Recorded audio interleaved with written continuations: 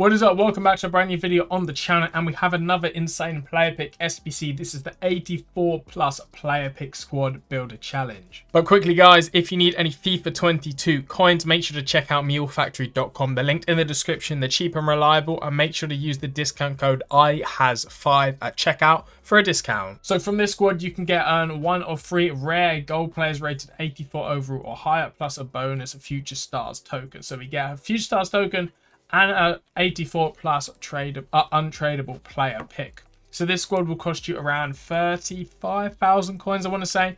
Your two informs all in are going to cost you about 25, 26k. And then you've just got to fill out the rest of the squad to get that 82 rating. Again, if you have other informs, just slot them in. You can, there's enough chemistry. The squad's pretty simple. So in goal, we've got Craig now. In the right back, we have Dumfries. Our centre backs, we have Kajia and we have our Inform Rugani. And in the left back position is Alex Sandro. Our CDMs, we have Darun and we also have Veretout. In the cam position is our other Inform. We have Inform Akbaba. And in our left centre mid, we've got Eriksen. And then finishing up the squad up top, we have Arnautovic and we have Muriel.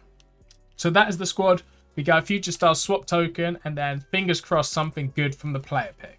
As we can see, here is our token and player pick. Fingers crossed, here. Just give me someone good. Someone over 86 and I'll be happy. And we get 88 Lukaku and Muller 87.